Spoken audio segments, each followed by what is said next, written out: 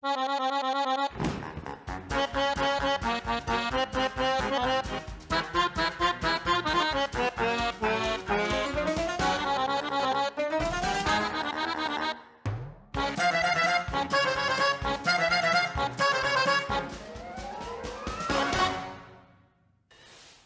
that was a nice card. I do love Christmas cards when they're interesting and inventive, and this is a lovely example of one sent by um, Happy Christmas for the New Year 1999, over 20 years ago now. Lawrence and Christina, I've known them for so many years, and I had to construct it. They showed me how to do it with all the mountain and valley folds, and I had to glue it on the back.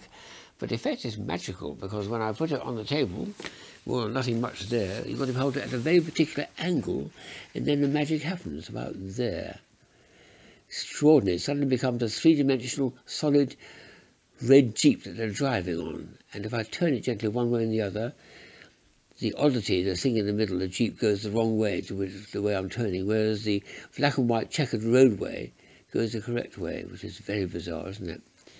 So that's a lovely, lovely Christmas card to receive. A lot of fun to construct and such a joy to actually create it and show it to people. One to keep forever, I think, don't you? Here's another one from Patrick Hughes. He's he had a, one of his many exhibitions not that long ago, and then handed out or gave or let you buy uh, models of it, and I had to construct it myself and glue it all together. And this is one where you have to hold it like this, and then move it from side to side, rotate it, so all the doors close or open, or close or open or open or close. I'll take it right the way through the cycle a couple of times. Because one way all the other doors close, and the other way they all open and you can see the sky and doors almost disappear. You call this reverse perspective and made many, many versions of it. And some of them are huge ones to put on walls of houses and art galleries. So I do like the idea of a model one. It still works, but it's easier to carry and take along to parties and entertain people with. And that works very well. So thank you, Patrick, for that delightful piece. That. Then there's another form of optical illusion called a thaumatrope or thaumatrope, invented about 1830s, I think it was. Normally a thing you spun in your hand and a little fling, flick around. These were German ones, which I picked up at Nuremberg about um, 20 years ago, and they're just made of wood. They've got the two images. They've got a, a rabbit, a magician's rabbit, and a magician's hat. And you've got to get the rabbit to come out, pop out of the hat. And how do you get the two to combine? You can do it by spinning. This one actually you have to hold upside down and then I'll see if I can get the rabbit to be popping out of the hat.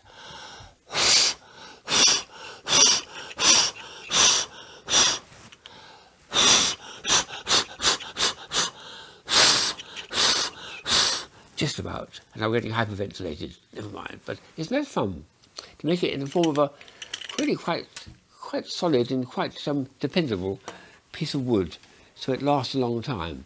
This is a strange one. It's got a man flying through the air holding his hands up, and he's got a parachute, but the parachute's got a cathedral on top of it, a dome. perhaps that's all made of um, made of material and it's all hollow or something, I don't know. But anyway, we'll combine the two together just by blowing on it.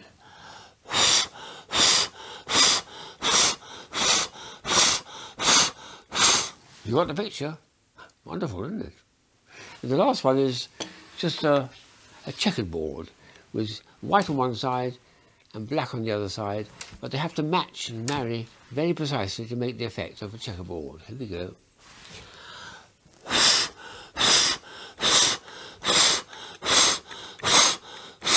Gosh, very nice and very solid and dependable, and um, something to show people, but I can take, take them along because I can put them in my pocket. The last item to show is made entirely of cardboard, and I had such fun constructing this because it was such a wonderful idea that very, very complicated inside. Look how, how much work needed to construct this piece. Look at that, all those cards had to go in place. So you find these sort of things that, uh, well, certainly in Britain and perhaps in America, seaside towns, on piers or on the beach, and you put a penny or a cent in the slot, and you wind a handle, that's what we used to call what the butler saw, and the picture that appeared was really quite fun. I'll show it first to myself just to see if it's working. And I turn it, I think it's, yes, like this, that's right. Oh yes, there we are. Oh yes, oh yes. Oh, it's a magician. It's a magician performing. That's good. So I'll have to do this to you now. Let's see if I can get it to start. And we're going to go this way like this. Like that. and we'll get some lighting on it and get you to have a really good picture of it deep inside.